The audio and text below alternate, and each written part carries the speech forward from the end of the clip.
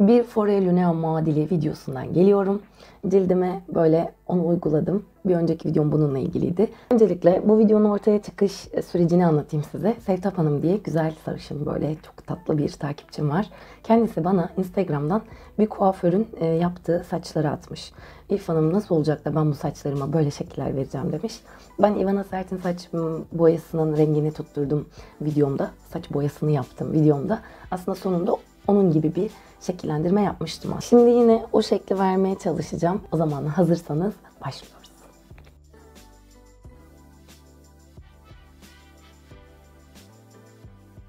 bu kuaförlerin işte keratin boya sonrası işte videolara çekerken kullandıkları böyle su dalgası gibi zarif görünen bir dalgası var ya onu yapmaya çalışacağız. Saçlarımı yıkadım. Şimdi havluyla nemini alıyorum. Alırken çok saçlarımı çektirmiyorum, zarar vermiyorum ya da sararken de aşırı sıkmıyorum. Çünkü bunun saça zarar verdiği söyleniyor. Hem de saç sağlığı hakkında da konuşmuş olalım. Şöyle diplerini şöyle şöyle yapa yapa yumuşata yumuşata havlumu çıkartıyorum. Şimdi saçımızın nemini aldık. Biobulas'ın şöyle gördüğünüz argan yağlı anında kolay tarama spreyi vardı bende. Önceki videolarımda da çok söylemiştim bunu. Herhangi bir saç açıcı spreyi de kullanabilirsiniz. Özellikle boyalı saçlar böyle hatır hatır bir görüntüye ulaştığı için böyle bir şeye mutlaka ihtiyaç duyuyoruz.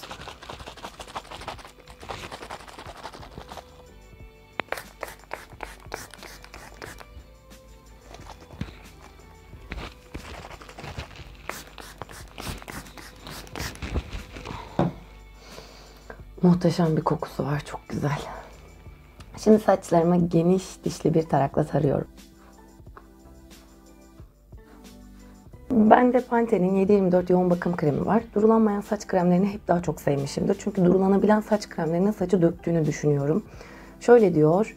Zengin Panten Pro V formülü saçı besleyip saçın yıpranmış yüzeyini anında onarak saç şekillendirmeden kaynaklanan yıpranmalara karşı güçlendiriyor.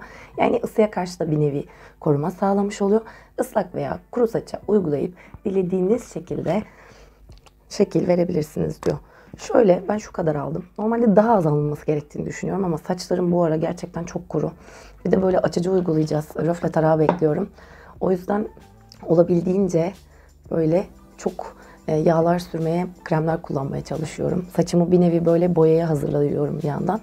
Ben şu şekilde uyguluyorum. Dalgalı saçları olanlar şunu yaparsa saçını kuruttuğunda föne gerek kalmadan şekilli halde bulacaktır eminim. Kesinlikle yaz aylarında bu benim çok işime yarardı. Saçınıza şöyle şöyle tampon hareketlerle böyle şekil verirseniz çok daha güzel sonuç alacaksınız.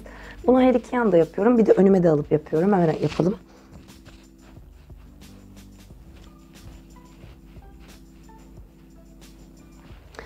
Şimdi dikkat etmemiz gereken bir şey söylemem lazım. Saç diplerime çok getirmemeye çalışıyorum. Olabildiğince böyle uçlardan kaldırarak şu hareketi yapmaya çalışıyorum ki saçlarımın böyle katmanları nemlensin ve o e, güzel şekli alsın. Şimdi saçlarımı artık kurutabilirim sanırım. Kuruturken 30 santim mesafeden tutmaya özen göstereceğim. Saçlarımı eğerek kurutuyorum ki geriye doğru attığımda çok daha hacimli saçlara ulaşmış olayım. O zaman kurutup geliyorum. Ya şöyle yaptım. Saçlarımı kuruttuktan sonra bir aynada kendime baktım. Yani bu Allah insanı sağlığından ayırmasın. Yüzümde nasıl bir betlik, suratımda bir şişlik, sesim kötü, saçlarım dağınık böyle berbat bir halde buldum kendimi. Yani karşınızda böyle olduğum için çok üzgünüm. Allah'tan ki bu bir bakım videosu, böyle saç şekillendirme videosu. Kendimizi sonunda güzel hissedeceğiz inşallah. Dudaklarıma biraz parlatıcı sürdüm ve dayanamadım. Yüzüme de Zivelge'nin kremini sürdüm. Normalde sürmemem gerekiyordu biraz. Böyle e, daha öncesindeki sürdüğüm vitamini kremi bekletiyordum aslında. Ama şöyle biraz daha aydınlık görünüme kavuştu. Zaten bir önceki videomda bundan bahsetmiştim. Onu mutlaka izleyin. Şimdi saçlarımı şöyle kuruttum. Geriye doğru alıyorum. Böyle diplerinde karmaşalar var. Şuralarım çok kötü oldu. Mesela o boyanın etkileri çok net hissediyorum onu. Böyle değildi saçlarım. Redis, kon yok ben bunu okuyamayacağım. Vanilyalı ısıya karşı koruyucu bir sprey buldum. Ben bunu hmm, Repo Kozmetik'ten Bursa'da e, Fatih Sultan Mehmet Bulvarı'nda Akbank'ın hemen arkasındaki kuaför marketten edindim.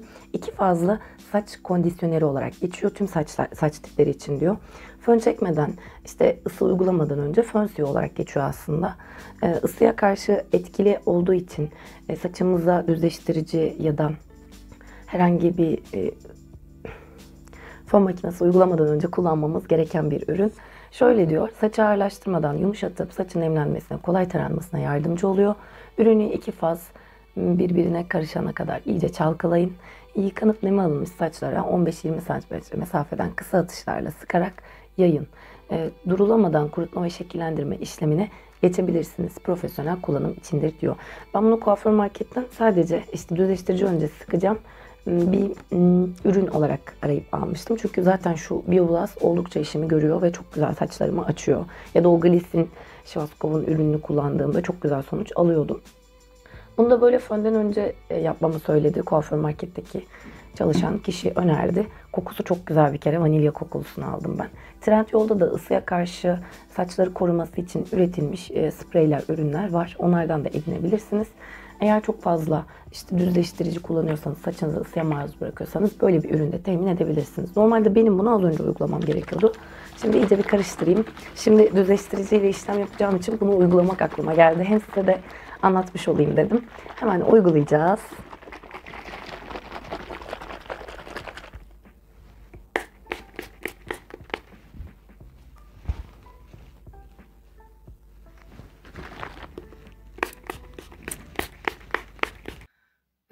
Değiştirdim geldim. Yüzümü takmamışım. Onu taktım. Remington'ın düzleştiricisini kullanacağım. 180 dereceye ayarladım. Az önce 150 dereceyle yapmaya çalıştığımda bu sonucu aldım. 200 dereceyle bu sonucu aldım. Ne bu kadar kıvırcık ne bu kadar düz istiyorum. Arada bir model istediğim için. Bu sefer 180 dereceye ayarladım. Isınmasını bekliyorum. Bekleyeceğiz. Dıdıdıt yaptığımda ısınmış olacak. Evet ısındı şimdi düzleştiricim. Şimdi şöyle Az önce yaptığımda şöyle geçirdim ama ben bu daha kolayıma geliyor. Şöyle tutuyorum, bunu çeviriyorum. Ve bunu çekiyorum. Döndürerek çekmeye gayret ettim. Tabii ki şu an şöyle gözüküyor. Aynen bunun gibi bir şey istiyorum. Yani daha iri. O Sevtap Hanım'ın gönderdiği e, öyle saçlardı. Zaten Instagram'da falan çok denk geliyorsunuzdur. Yani kuaförlerin saç boyamadan sonra kullandığı bir dalga bu. Böyle iri bukle diyebiliriz. Tekrar kalemle saçımı topluyorum. Ve saçımı şöyle iki yana doğru ayırıyorum. Tarayacağım yine.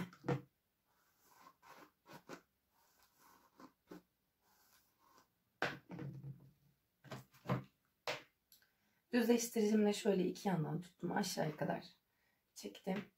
Ondan sonra düzleştiricimi şöyle çeviriyorum. Şurasında döner başlık olduğu için rahatlıkla dönüyor. Böyle döndürüyoruz.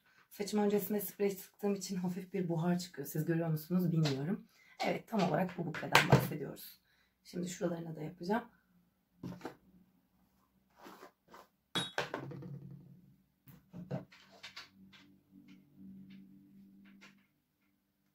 Şöyle biraz çektim. Buraya attım. Şöyle çevirdim. Saçınızın hangi yöne döndüğüne dikkat edin. Benim burası dışa doğru, burası da şöyle içe doğru döndüğü için ben o yönde saçlarıma şekil veriyorum. Siz de nereye dönüyorsa eğer ona göre şekil verin. İç tarafa ise şu tarafa yaptığım gibi, dış tarafa ise bu tarafa yaptığım gibi bir işlem uyguladınız. Bu arada böyle elimle sıkarak elimin içinde de çeviriyorum. Ortada saç kalmasa da şu dışarıdaki sıcaklık şekil almasını sağlıyor. Böyle iri elde ediyoruz. Hastayken video çekmek ne kadar zormuş.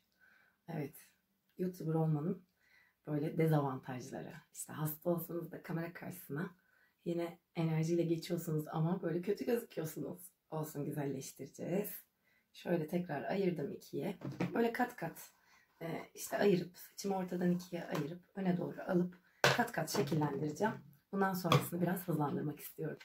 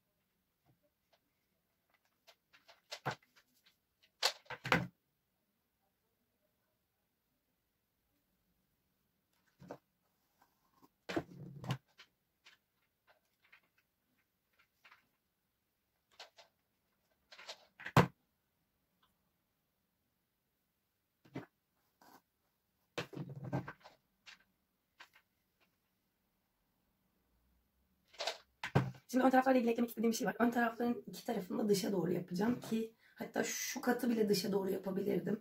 Daha böyle yüzümün açıldığı, daha havalı bir görüntüye ulaşabileyim. Çünkü kuaförlerde genelde dikkat ettiyseniz boya yaptıktan sonra özellikle şuralara röfle atılmışsa o çerçeveyi gösterebilmek için yüze yansıyan görüntüsünün yüzde daha iyi gözükmesi için şöyle dışa doğru kıvırmalar vardır. Şekil verirken özellikle ön perçemlerinizi böyle dışa doğru kıvırırsanız daha böyle havalı böyle açık bir görüntü oluşur. Bir de böyle Victoria's Secret manken, mankenlerinde de eğer böyle fön çekilmişse doğal bir fön bile varsa bakın mutlaka şu kalemi düşün. Ön tarafa böyle e, ön tarafın dışa doğru açılmış halleri vardır. Şimdi burayı bir kere daha alacağım. Şurasının acımlı olması için şurada bir tümsek yaratarak çekiyorum bakın. Şöyle. Sonrasında burayı böyle geriye doğru açtırıp çektiriyorum. Ve böyle saçlar oluyor. Şimdi en sevdiğim kısma geliyoruz. Nemlendirip tarama kısmı. Aslında bu bukleleri açarken ne kadar güzel bir iş yaptığımızı da görmüş oluyoruz. Kendinizi mutlu etmek için mutlaka böyle bir saç şekillendirme yapın. Güzel sonuç alacaksınız. Zor söz dinleyen saçlara sahipsiniz. Siz 200 derecede, 210 derecede yapabilirsiniz. Hayır ben saçlarımdan çok korkuyorum yıpranmasından diyorsanız 150'de bırakın ama benim saçlarım ince telli olmasına rağmen 150'de çok çok şekil almıyor. Çok yavaş yapmanız gerekiyor. Yani ben kısa sürede çabuk şekil vermeyi sevdiğim için yüksek ısı kullanıyorum. Evet bakımları da ihmal etmezsek kötü sonuçlar da almıyoruz. Saç uzatmada bomba bir ürün. Dax Super Grow. Neden bomba dedim? İnanın şuralarımda benim yani eski videolarımdan dikkat etmişsinizdir. Hep böyle bebek saçlarım dik dik dururdu. Onlar dahi uzamaya başladı. Çok düzenli kullandığım söylenemez. Haftada iki defa falan yapıyorum. Normalde ben bunu bir ara şey dedim. Her gün kullanacağım. Sonucu da izleyicilerle paylaşacağım. Ama o kadar vakit bulamadım. Ne yapıyorum? E, normalde saçıma serum kullanıyorken saçımın artık rutinim oldu bu benim. Şöyle az bir şey alıyorum. Şunu göstermem lazım. Az bir şey aldıktan sonra saçımın uçlarına, serum yerine bunu sürüyorum. Çok da güzel parlatıyor ve gerçekten saçların da böyle kırılmasını önlüyor. Şimdi şöyle ayağa kalkmam gerek. Şöyle uçlarına Dax Super Grow'yu uygulayacağım. Farkı görebilirsiniz. Yani inanılmaz parlaklık veriyor. Çok az almama rağmen çok güzel bir parlaklık oluşuyor. Ve bu parlaklık böyle hani tararken boyalı saçlarda böyle kısa kısa kopmalar oluşur ya onun da önüne geçiyor. Şu hareketlerle şöyle diplerime getirmeden çünkü saçlarımı yağlandırmak istemiyorum. Şöyle buklelerin toplanmasını ve parlamasını sağlıyorum. Az sonra da buklelerimi tarakla açmaya başlayacağım. Evet bunu iyice yedirdim. Tarağımı alıp geleyim. Peki takılı olmayan mikrofonu güzelce yakama takıp güzelce videoyu çekmeme ne diyorsunuz? Dilerim sesim duyulur. Ben arkadaki müziği eğer koyarsam çok kısık koyacağım. Yüzde bir falan koyacağım o derece. Ee, onun haricinde müzikleri çok seviyorum çünkü arkada konuşurken. İnşallah sesim gelmiştir. Yani şu an fark ettim. Şimdi hemen taktım. Sesim daha iyi geliyordur. Şimdi şöyle saçlarımızı taramaya başlayalım. Tararken böyle buklelerimiz açılacak.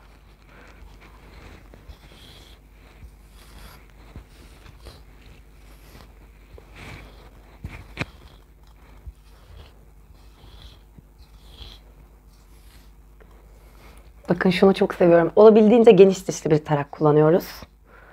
Bunu her videomda söylüyorum neredeyse saçla ilgili. Ah sesim çok kötü. Allah'ım. Yani tabii ki siz bukleleri biraz fazla isterseniz şuralarını bir tık daha e, şey yapabilirsiniz. Kıvırabilirsiniz dipten. Şuramı çok yapamamışım galiba. Yani düzenlemeye ihtiyaç var gibi duruyor. Evet şimdi olacak ama şöyle.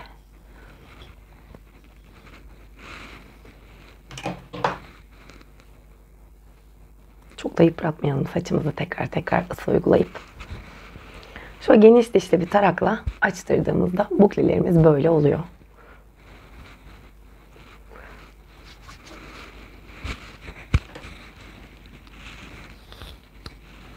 Elim alışmış hep yandan ayırıyorum. Aslında bu model ortadan ikiye ayırdığımızda çok daha güzel duruyor. Bir de makyajsız ama bu yüzümde çok bir renksizlik var. Allah'ım.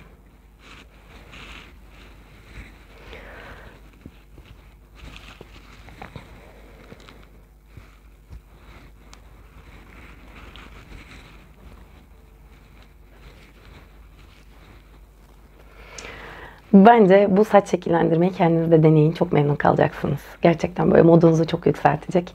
Çok da sağlıklı, canlı gözüküyor. İşte kuaförlerin yaptığı şey bu aslında. Yani bukleleri biraz iri atıp saçları tarıyorlar güzelce ve videolara atarken de hani şunu çok yapıyorlar şöyle. Şöyle atıyorlar öne doğru işte. Ondan sonra bunları böyle geriye doğru atıyorlar falan. Böyle havalı bir görüntü oluşuyor. Güzel de sonuç oluyor. Dilerim beğenmişsinizdir. Bilmiyorum çok da yapamadığım gibi çok yağlı oldu sanki böyle. Biraz kurutma makinesi mi tutsam acaba? Ama ben zaten yani günlük bir yere de gitmeyeceğim. Bu bunu evde kullanacağım böyle. O yüzden çok sorun değil. Siz aldığınız serumu biraz daha al, alırsanız daha güzel olur. Bence oldu da aslında ya. Kötü de olmadı ama bakalım yorumlarınızı merak ediyorum. Buraya kadar benimle geldiğiniz için, bu güzel anları benimle paylaştığınız için, hasta halinde bana tahammül ettiğiniz için çok teşekkür ederim. E, röfle videosu ne zaman gelecek diye soranlar var. Yani röfle değil açıcıyla aslında röfle tarayla açıcıyı uygulayacağım. En kısa sürede gelecek. Hala siparişim gelmedi. Rahatsızlığımı da atlatamadığım için bir türlü böyle girişemedim. Şunu da söyleyeceğim. Dax Super Grow'u kaşlarınıza da uygulayabilirsiniz. Eğer seyrek çıkan kaşlarınız varsa kaşlarınızın da beslendiğini göreceksiniz. Ben kullanıyorum. Normalde kaşlarımda çok daha fazla dökülme vardı. Şu an yüzümde hiç makyaj yok zaten. Hani bir önceki videodan geldim. Bir önceki videoyu izlediyseniz hani baya baya böyle cilt temizleme rutinimi uygulayarak geldim sizin karşınıza. Ve inanın kaşlarımın beslendiğini düşünüyorum. Ee, eğer Dax Super Guru'yu alırsanız kaşlarınıza da mutlaka uygulayın derim. Hatta kirpiklerinize bile uygulayabilirsiniz. Böyle ılıtıp rimelinize böyle bir damla damlatıp kirpiklerinizin de gürleştiğine şahit olacaksınız. Peki kendinize iyi bakın. Artık gitme vakti. Hoşçakalın.